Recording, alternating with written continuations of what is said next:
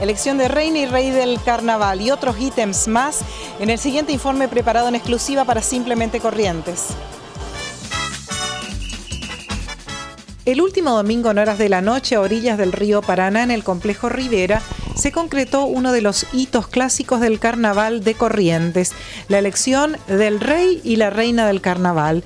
El evento, conducido por Virginia Acosta y Martín Jauregui, fue el escenario propicio para elegir y reconocer los mejores trajes del carnaval. Las distintas comparsas y agrupaciones musicales presentaron sus mejores exponentes de belleza, todas aspirantes al preciado cetro de reina, y así lo hicieron Araverá, Zapucay, Arandubeleza, Copacabana, Samba Total, Samba Show, Zambanda y Camanducaya. 27 bellezas del carnaval que en dos pasadas, una en elegantes vestidos de noche y luego con sus trajes de carnaval, mostraron al jurado y al público que se dio cita en el lugar sus atributos válidos en una noche en la que el común denominador fue el esplendor y el glamour. Los 15 candidatos a rey también tuvieron su momento, fueron muy aplaudidos, se lucieron en la pasarela y las imágenes son un reflejo de lo vivido en la noche del último domingo. Presentaron aspirantes al cetro las comparsas Aravera, Zapucay y Arandubeleza, además de las agrupaciones musicales Samba Total y Camanducaya. ¿Quiere ver los mejores trajes del carnaval de Corrientes? Le mostramos. En el rubro masculino, Arandú Beleza presentó al Rey de la Magia con el protagónico de Daniel Pachela. Zapucay trajo a escena al emperador chino de la película Mulan, encarnado por Eduardo Milanovsky. Y Aravera hizo lo propio con el personaje de Pierrot, exhibido por Javier Liva.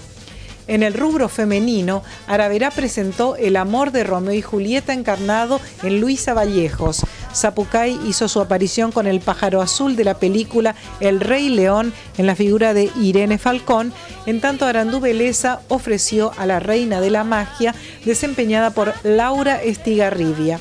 En el ámbito de la misma fiesta se anunció que la soberana 2011, Vanessa Friedman, fue designada embajadora del Carnaval Correntino por el término de un año mediante resolución de la Subsecretaría de Turismo. A la hora del veredicto y entrega de premios, el jurado determinó que es rey del carnaval Juan Sebastián Ortiz, que representa a Simba, el rey león. La más elegante de la noche fue Irene Falcón de Zapucay, que llevó doble premio.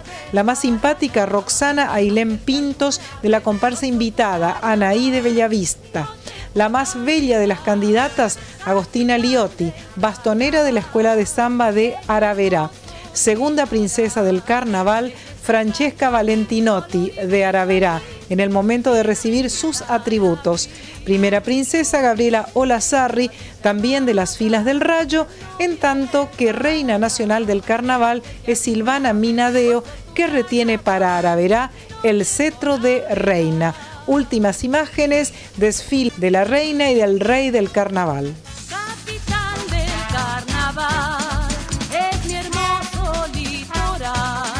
Belleza y canto aquí solo.